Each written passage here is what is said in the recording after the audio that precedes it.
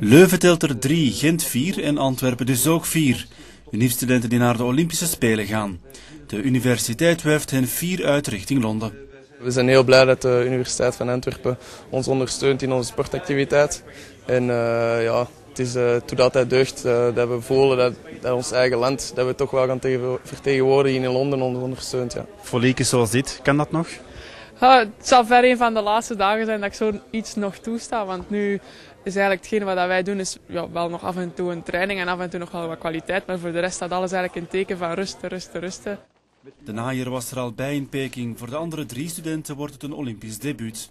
Vanaf het moment dat je echt kan aankondigen van ik ben een Olympisch atleet, uh, dan, dan uh, gebeurt het toch iets met jezelf. Gaat u nu speciaal uh, naar uw studenten kijken? Wel, ik zit vanaf overmorgen in Spanje. Maar ik ga gewoon de match waar zij meedoen zeker bekijken. Ja. En wat hoopt u? medailles natuurlijk, massa's medailles. Hè. Voor drie onder hen zit het schooljaar erop. Dat is niet zo voor Bart Bouwens. Hij mag in augustus nog eens langskomen.